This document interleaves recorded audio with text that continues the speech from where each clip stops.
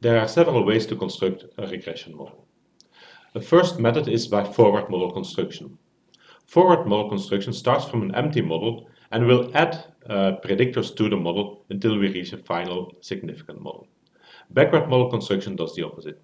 It starts from a full, uh, a full model containing all possible predictors and then it will remove those until it gets to the final model. And then the third option is to use a combination of both. It is, however, important to note that every predictor will always be included one by one. So we will never add one, more than one predictor at the same time. We will never remove more than one predictor at the same time. Furthermore, the models are hierarchically, which means that if we have higher order terms or interaction terms, we always have to keep the lower order terms that consist or that make part of this higher order term, we have to keep them in the model. We cannot delete them, even if they are insignificant.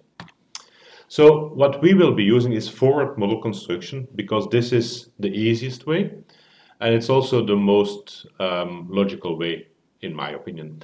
So forward model construction will include predictors one by one. What it will do is it will start from the empty model. It will look at what predictors are available and then it will construct a single a simple linear regression model with one predictor. So it will check for each of those predictors what the model would be. So you get, uh, in our case, four models. You select the model which has the most significant predictor. So in most significant predictor here means that we include the one which has um, the highest absolute value in t, absolute t value, or which has the lowest p value. So we always include the most significant predictor in our model. Um, why is this the most significant predictor? Because if my p-value is the lowest, it means it is farthest away from the center. And so we are most certain that this predictor is significantly different from zero. We add this predictor to the model, and now we start again. So we have now selected one predictor, and we will check this predictor by adding each of the other different predictors as well. So we take models with two predictors, um, the one we selected plus every other possible predictor. And again, we see which one gives the most significant um, contribution. We take this. Now we have a model with two predictors. We check if both of them are still significant. If not, we have to remove. And then we select. So we have the one with the two predictors. We add every remaining predictor. We get a model with three predictors. We check again if all of them are significant. If not, we remove one by one and we continue back with the forward step by adding a predictor. Only when we finished adding all the predictors in themselves, so all the single predictors, then we can move on to higher order or interaction terms.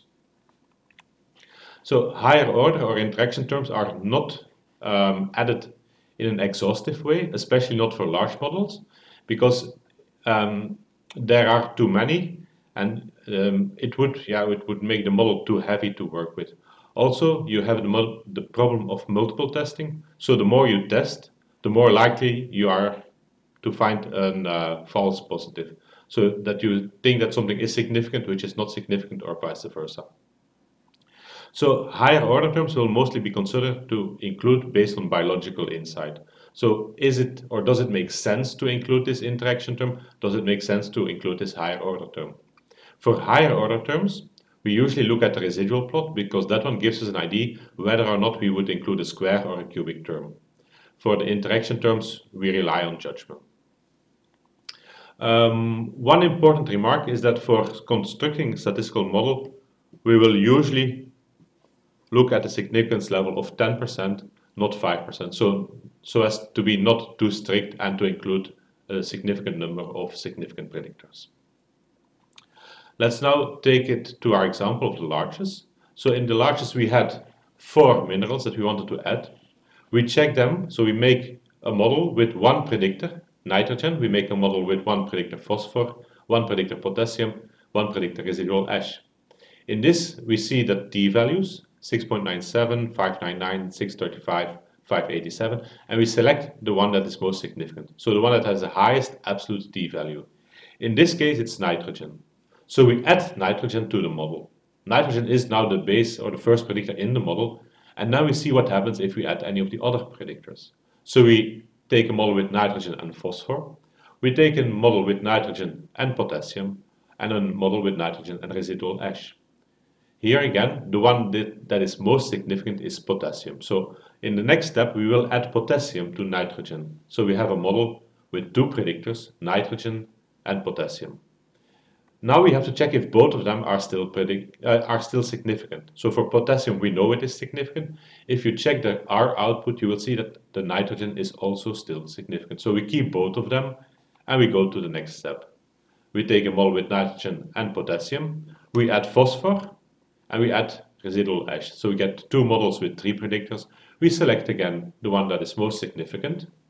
We check if all of the predictors are still significant. If not, we remove them one by one. And then we repeat the entire process until there are no more significant predictors to be added. So once we have finished up all the predictors, then only then we will move on and look at the interaction terms. So interaction terms, we check for the interaction terms only for the terms which are in the model.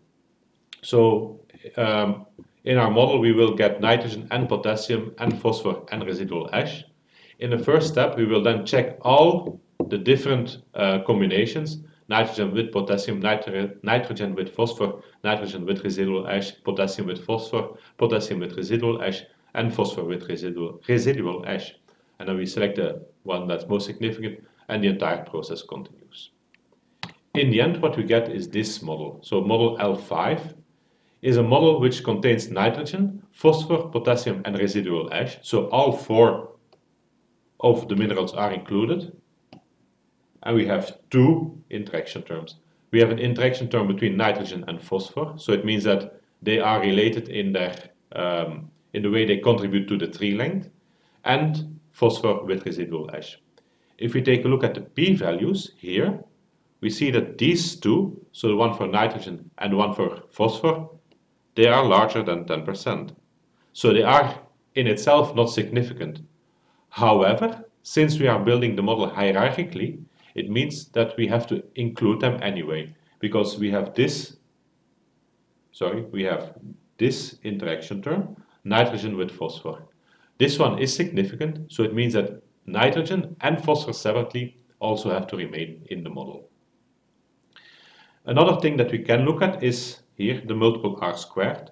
So multiple R squared is a measure of how predictive the model is. We will see the details later on in this uh, chapter, but for now we can say it's 91%, so the model is strongly predictive based, uh, or the model constructed with these predictors is strongly predictive for the average tree length. Um, one final remark is that how to construct a model will depend on the goal of your analysis. What do I want to do with it? Do I want to make predictions? Or do I want to find an effect of an exposure on an outcome? So do I want to input new data and get an output for the tree length?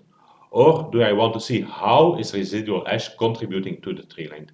Two different things and model construction is, um, or the way of thinking of model construction is different for both. If we want to make predictions, the strategy that we used is useful. So in that case, we want to avoid overfitting. We want to find a prediction which is as good as possible. So what we want to do is to include only the really significant terms. Overfitting means basically that you want the data or that you want the model to follow the data, but not too closely. So we have the data points, the six data points here.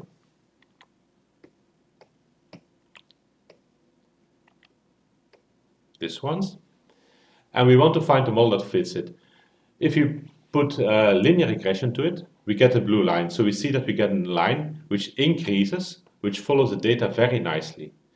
Um, if we go to higher order fits, for example, we include um, cubic terms, we might get the green line, so we see that the green line is a perfect fit for all of the data points. So for the observations, for the observed data points, they, the line goes through them, it's a perfect fit. However, for every other point, it is a very bad fit. So if we would take a prediction for, let's say this one, the prediction would be here, which is an option. If we would take a prediction, well, which is an option depending on what we get, because it is close to the point near to it, it's far from the linear line. So if the data points, we have no clue how they are exactly spread. So if this is how they are spread, and this would be the true value, then it's a bad fit. We also see on the end that we go farther and farther away from the data. So the bulk of the data will lie in this direction. So it will follow the linear regression line. But if we follow the green line and we want to make predictions, we move either down here or up here. So we have a very, very bad fit. The model is a very bad generalization of the true underlying model. If we want to find the effect of an exposure on the outcome, then it's important to uh, correct for confounding. So we want to adjust for all confounders. And in that case, we are not going to use the strategy before. We just want to include as many terms as possible, as many predictors as possible to eradicate confounding as much as, much as possible.